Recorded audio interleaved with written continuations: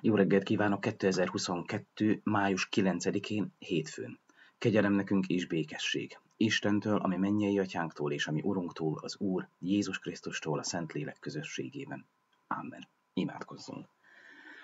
Mindenható mennyei édesatyánk, egy újabb hetet kezdhetünk el veled, amikor is tőled várunk segítséget, tőled kérünk erőt és áldást a munkánkra, a pihenésünkre, mindarra, amit teszünk. Urunk, köszönjük, hogy megállhatunk, elcsendesedhetünk, rád figyelhetünk, és kérhetjük, hogy te egészítsd ki mindazt, amit mi töredékessé teszünk, amit esetleg elhibázunk, azt te javítsd ki.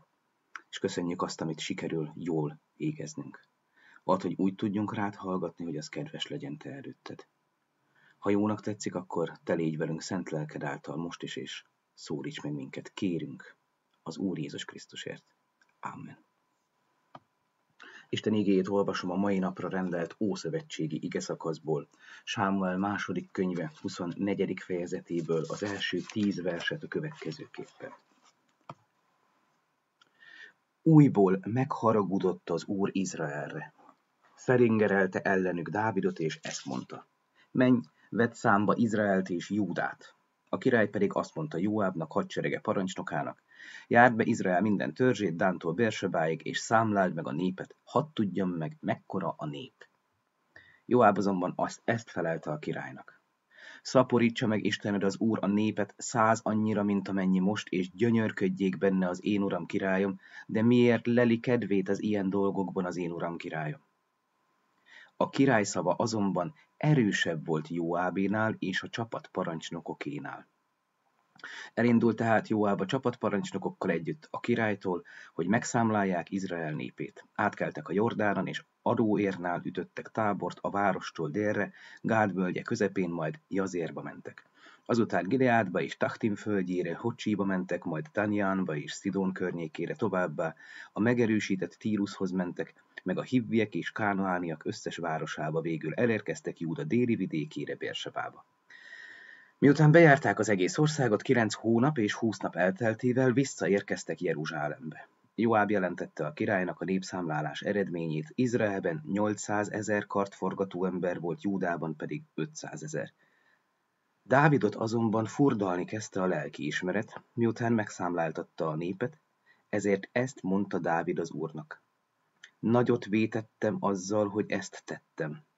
Most azért bocsásd meg, uram, a te szolgád bűnét, mert igen esztelenül cselekedtem.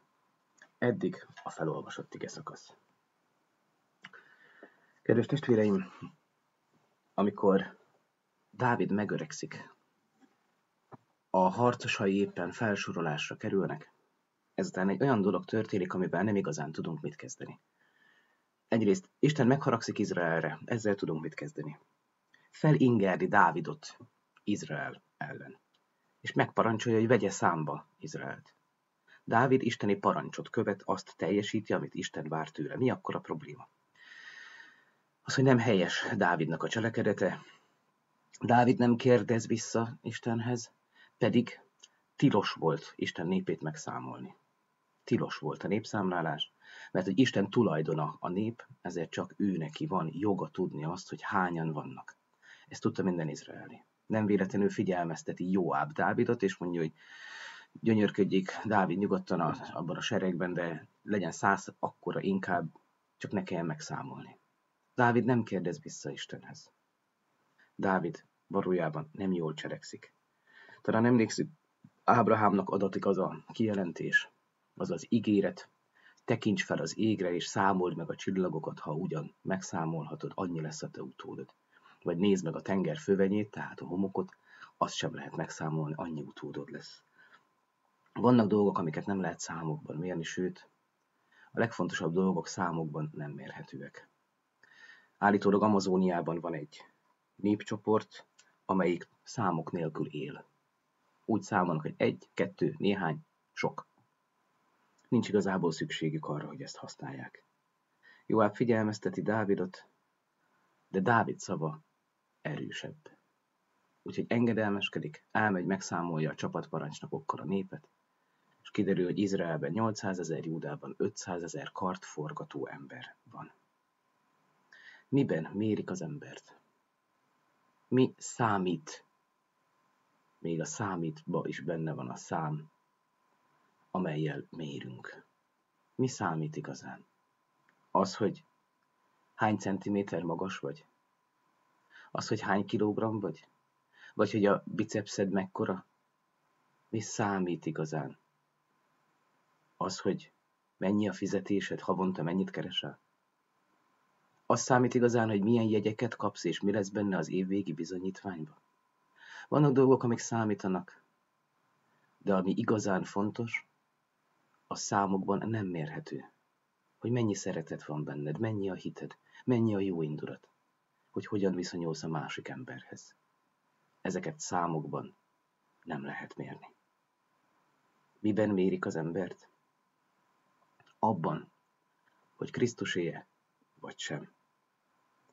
A szeretetet, az imádságot, a bibliolvasást, a közösséget, a gondolatot nem lehet számokban meghatározni. Mint ahogy sokszor az emberek azt gondolják, az a fontos, hogy mennyi feliratkozóm van, hány lájkot kapok, hány megosztást, vagy éppen hány követőm van. Számokban nem lehet mérni egy ember értékét, mint ahogy egy gyülekezetét sem. Azt meg lehet mondani, hogy mennyi egyház fenntartó tagja van, mennyien vannak ott a templomban, de hogy hányan tartják meg az igét, és élnek a szerint, ezt csak Isten tudja megmondani. Amikor Dávid megszámolja a népet, kilenc hónapig és húsz napig tart. Nem rövid idő. Azt olvassuk, hogy lelki ismeret furdalása lesz. Ezt, hogy lelki ismeret furdalása van, hogy furdalni kezdte a lelki ismeret. A Héber is úgy adja vissza, ahogyan Károli Gáspár fordítja, ő így fordítja az utolsó, a tizedik verset. Minek utána pedig Dávid a népet megszámlálta, megsebhedék az ő szíve. Megsebesül a szíve. Lelki ismeret furdalása lesz. Azt gondolom, helyesen fogalmaz Csűrös András a mai ége, vagy a rázatában, hogy Dávid bűnbánattól fordul a mindenható felé, sokatszorra. És Isten sokatszorra is meghallgatja. Az információk elérésénél a hívő embernek sokkal fontosabb került elérhető közelségbe. Két összekulcsolt kézre lakik tőlünk a mindenható. Isten pontosan egy imádságra lakik tőled. Az a mindent tudó atya, aki sok esztelenségemet, sok bűnömet megbocsátotta már, Krisztus által. Igen, ő az, aki mindent tud, mindent lát, és minden ható. Ő képes megbocsájtani a hibáinkat és a tévedéseinket is. Ő hozzáforduljunk hát. Amen. Imádkozzunk. Uram, köszönjük, hogy nem kell a számok bűvöletében élnünk, hanem lehet rád hagyatkoznunk. Lehet tőled kérnünk azt, hogy a kevés is nálad legyen sok, vagy épp, hogyha valami sok bánat vagy nehézség van, az váljon kevéssé. Gondolom, te képes vagy bármit megszaporítani, vagy éppen lecsökkenteni. Kérünk, a te áldásodat szaporítsd meg rajtunk. Úgy légy velünk, hogy a te dicsőségedet szolgálja az életünk, hogy tudjunk minél inkább nemet mondani a bűnre, a kísértéseknek, és igent mondani a te hívásodra, a te parancsodra. Segíts nekünk ebben, Urunk, adj ehhez bölcsességed és szent lelked vezetését. Áld meg, kérünk, Urunk, azokat, akik betegségben vannak. Te légy a gyógyítójuk. A gyászolóknak te adj vigasztalást, és add, hogy hirdethessük a vigasztalás és feltámadás evangéliumát. Ha kell szavakkal, ha kell életünkkel. Így kérünk, hogy légy mindazokkal, akik téged hívnak segítségül. Az Úr Jézus Krisztusért, aki itt tanított minket imádkozni, mi atyánk, aki a mennyekben vagy, szenteltessék meg a te neved. Jöjjön el a te országod, legyen meg a te akaratod, amint a mennyben, úgy a földön is. Minden napi kenyerünket add meg nekünk ma, és bocsájtsd meg védkeinket, miképpen mi is megbocsájtunk az ellenünk védkezőknek. És ne védj minket kísértésbe, de szabadíts meg a gonosztól, mert tiéd az ország, a hatalom és a dicsőség mind örökké. Amen. Az Úr Jézus Krisztus kegyelme, az Isten szeretete és a Szentlélek közössége legyen és maradjon mindannyiunkkal. Amen. Áldott napot, áldott hetet mindenkinek.